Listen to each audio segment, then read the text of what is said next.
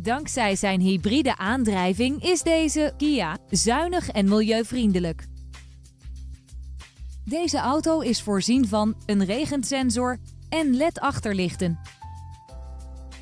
Dankzij veiligheidsvoorzieningen als een Accident Avoidance System, Lane Departure Warning en verkeersborddetectie bent u steeds veilig onderweg.